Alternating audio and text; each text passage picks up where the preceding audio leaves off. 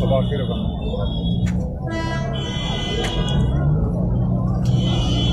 آه، صباح الخير. إحنا النهارده كنا بصدد آه، الحكم في قضيه الأستاذ رشوان توفيق وكنا منتظرين الحكم ده من بدري فربنا كرمنا إن شاء الله. زي ما قلنا قبل كده كنا متعشمين خير في القضاء المصري وكنا متعشمين في في سير القضية نفسها.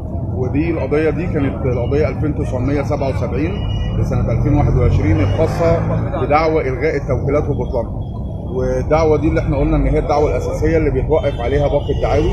وكان عندنا أمل كبير إن إن شاء الله ربنا يكرمنا فيها بإذن الله إن هي تترفض ويلزموا المدعية اللي هي ايات الله رشوان توفيق بالمصاريف وبرد المبالغ اللي, اللي هي كانت والدها اودعها باسمها في البنك بموجب شهادة استثمار وده اللي حصل النهارده الحمد لله إن إحنا الحكم صدر منطوقه آه، بالنسبة للدعوة الأصلية برفض الدعوة الأصلية وإلزام رافعها المصاريف ومقابل اتعاب المحاماة وبالنسبة للدعوة الفرعية اللي إحنا كنا اقمناها ضدهم بقبول الدعوة شكلا وإلزام المدعية اللي هي ايات الله رشوان. برد المبلغ 893 ألف جنيه اللي هو مبلغ شهادة الاستثمار اللي الاستاذ رشوان توفيق كان أوضعه باسم بنته في البنك على أساس يحصل العائدات بتاعته وهي بعد كده سحبته. فالمحكمة الحمد لله أمرت بإلزامها برده فيها تاني إن شاء الله. تأثير ده إيه على الدعوة الدعوتين اللي جايين؟ تأثير آه، كده فتح طريقة آه، خير إن شاء الله لأن إحنا كنا قلنا إن الدعوة دي بطلان التوكيلات وإلغائها هي الدعوة الأصلية اللي بيتوقف عليها باقي الدعاوي. المرفوعة والمقامة لأن بموجب التوكيلات دي طالما إن المحكمة حكمت إن التوكيلات سليمة ورفضت الدعوة ببطلانها وألزمت آه، الأستاذة آية إن هي ترد المبالغ لوالدها يبقى بناء عليه إن الإجراءات اللي تمت كلها بالنسبة لعقد الاسم بتاع الشاليهات وبالنسبة لعقد الفيلا في أكتوبر كله باجراءات سليمة بموجب التوكيلات السليمة. طب لو ممكن نفند للناس ال- الدعوة يا أستاذ هشام لو سمحت نعرف الناس الدعوة التوكيلات إيه تفصيلها؟ الدعوتين التانيين إيه تفصيلها؟ وده يعني والله إحنا زي ما قلنا قبل كده كان عندنا ثلاث دعاوي آه، الدعوة الأولى اللي هي كان حكمها النهارده اللي هي دعوة 2977 لسنه 2021 دي كانت مقامة من الأستاذة آية بطلب إلغاء التوكيلات وبطلانها. آه، أما الدعوة الثانية كانت بخصوص عقد اسم الشاليهات اللي كان في عقد اسمه زي ما قلنا الأستاذ رشوان توفيق حرر عقد اسمه ما بين بناته وما بين حفيدته اميمه بشاليهات راس صدر وهم طعنوا على عقد الاسم دوت هي طعنت على عقد الاسم ده وقالت إن هي التوكيلات فيها بطلان وما يقدرش إن هو يقوم بموجبها بعقد الاسم. وإن شاء الله بإذن الله يعني إحنا بنقبل من القضاء العادل إن هيكون الحكم موازي لنفس الحكم اللي صدر النهارده إن شاء طب الله. إيه موقف وفي آية دعوة دلوقتي؟ ثالثة؟ في دعوة ثالثة ببطلان عقد فيلا في 6 أكتوبر. اللي هي جلستها يوم 2 3 ان شاء الله اللي هي الجلسة الجاية إن شاء السبب الله. القوي اللي خلى الدعوة المقدمه من آية الله رشوان توفيق يتم رفضها وإن التوكيلات سليمة 100% تمام يا فندم. إيه إيه السبب في حاجة زي كده؟ والله السبب إن إحنا بنتكلم في حاجة قانونيه إحنا قلنا قبل كده في, الكلام السابق إن التوكيلات طالما صدرت توكيل عام رسمي بيبيح للموكل إن هو يتصرف في أعمال التصرف والإدارة فإن التوكيل ده طول ما هو ساري للمو- للموكل إن هو يقوم بكافة أعمال التصرفات سواء بيع سواء اسمه سواء إعادة حقوق كل الكلام دوت مباح ليه وبيكون ساري وسليم. فعشان كده المحكمة خدت بقانونية الموضوع إن التوكيلات سليمة وسارية وبالإضافة لذلك إن هم لما سمعوا شهود المدعي عليه الأستاذ رشوان توفيق أكدوا إن جميع الأموال اللي اتحطت في ال في ال في العقارات دي سواء في الشاليهات أو في الفيلا أو في شهادات الاستثمار اللي اتوضعت بأسماء بناته في البنك من حر ماله وهو اللي اودعها باسمهم في حال حياته. طب ماذا عن تأثير الحكم على البنك؟ إحنا عرفنا انه الحكم كان البنك كان مجمد آه، الفلوس. تمام الاستاذ رشوان توفيق. تمام. بموجب الحكم ده يقدر آه، طبعا هي ال- ال- الحكم ده ألزم المدعية ألزم آية. إحنا مالناش علاقة دلوقتي بالبنك خالص. هو ألزم آية برد المبلغ ده لوالدها هي سحبت المبلغ؟ نعم. هل هي سحبت المبلغ؟ هو اتجمد لحين آه، لحين الفصل الدعوه فهو كده هي هتقدر ترد سواء بقى هي سحبته من البنك هترده سواء المبلغ موجود لسه في البنك المفروض يترد للمدعي عليه الأستاذ توفيق. كانت طول الفترة اللي فاتت دي كانت واقفة صرف العائد بتاعه؟ طبعا كانت واقفة صرف العائد من آه، من أول ما أقامت ضد والدها الدعاوى وقفت صرف العائد الشهري اللي كان بيصرفه من شهادات الاستثمار اللي كانت مودعه باسمها في البنك كل ده برضه هيترد برضه للفنان رشوان توفيق اللي هي بعد التجميد. كانت في فوائد برضه. الفوائد دي هترد له ولا لازم إيه؟ تترد له طبعا أكيد إن شاء الله يعني. طب حضرتك كلمنا عن دور الشهود. كان موقف يعني دورهم إيه في القضية؟ ساهم إن الفنان رشوان توفيق ياخد حقه. وموقف إيه إيه بعد كده أو عدم إحضار الشهود لأي ضعف موقفها مثلا في. القضية؟ آه، طبعا في جلسة الشهود. الشهود إحنا كنا قررنا إن إن شهود الأستاذ رشوان توفيق كانوا حضروا وأقروا قدام المحكمة وصرحوا إن جميع الممتلكات اللي هو كتبها باسم أولاده من حر ماله ومن خالص ماله وجميع الفلوس اللي هي اللي اتحطت في البنك بأسمائهم بموجب شهادات استثمار كانت من حر ماله وأقروا الكلام ده. والشهود طبعا كانوا كلهم المعارف اللي محيطين بيهم واللي عارفين كل حاجة عنهم. وهم الخصم أو الأستاذة آية افتكرت إن هي تجيب شهود ما- ما ما كانش عندها شهود تثبت طبعا صحه أقوالها. أو تقول حقيقه اللي إحنا يعني ما فيش شهود جم اللي الجلسة اللي فاتت؟ لا جم شهود الأستاذ رشوان توفيق بس أستاذ رشوان بس آه هم دول اللي جم شهدوا. عشان كده طبعا آه، ليه تأثير كبير قدام عدالة المحكمة الحمد لله. تمام موقف إيه إيه دلوقتي يا فندم بعد القرار ده؟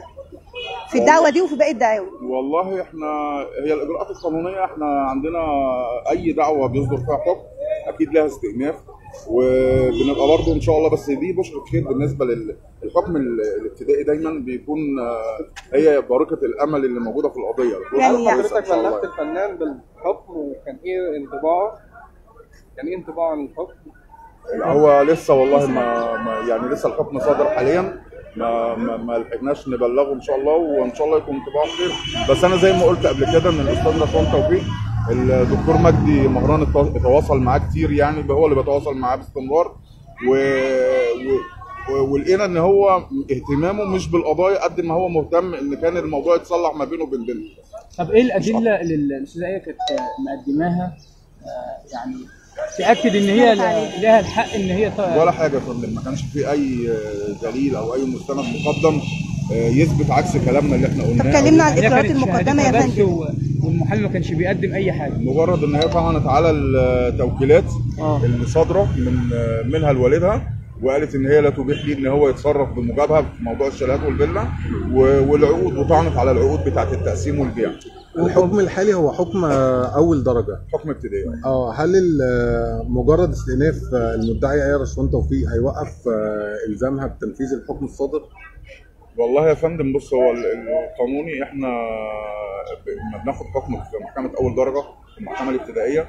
الحكم بيكون آه، واجب النفاذ في حالة واحدة إن هو بيكون عدى مواعيد الاستئناف أو إن هم ما استأنفوش وبنجيب شهادة بعد ما حصول الاستئناف وبنبدأ ننفذ. أو إن هم استأنفوا محكمة الاستئناف أيدت الحكم فبنبدأ ننفذ برضه الحكم الاستئناف إن شاء الله. خلال نعم. يومين. فترة الاستئناف قد إيه 40 يوم. فترة الاستئناف 40 يوم خلال يومين هيكون في آه، في في ذات المحكمة آه، حكم في قضية بطلان ال- شاء الله الاسمه في- عايزين نعرف تأثير الحكم الحالي آه، ببطلان التوكيلات على على الدعوة المقبلة يعني. والله إن شاء الله إحنا بنتعشم خير لأن هو إحنا كنا زي ما قلنا قبل كده إن الدعوة بتاعت النهارده دعوة الغاء التوكيلات أو بطلانها دي أساس لكل الدعاوي المقامة بعد كده. لأن بناء على التوكيلات إذا كانت ثبتت صحتها من عدم صحتها هو اللي بيقول إن التصرفات اللي صدرت بموجبها إذا كانت صحيحة أو غير صحيحة. إن شاء الله. دايما حضراتكم بتأكدوا على إن الفنان فاتح دراعه لبنته وعايزها ترجع وكده. هل الفترة اللي فاتت لغاية وقتنا هذا. حصل مبادرات من من آية أو حاجة ولا؟ لا والله لحد دلوقتي ما ما ما فيش مبادرات حصلت منها. هي المبادرات كلها كانت من والدها وهي لسه لحد دلوقتي ما استجابتش يعني. في حد ماشي معايا وكده؟ يعني ليه هي أكيد آه في طبعا اخواتها ومعارفها هم اللي بيتواصلوا معاها.